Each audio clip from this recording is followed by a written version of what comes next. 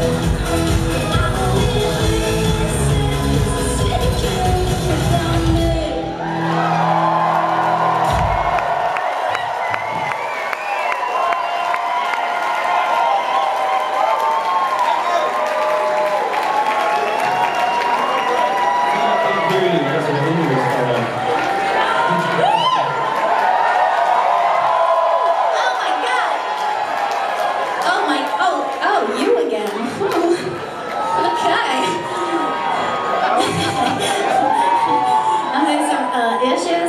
Technology.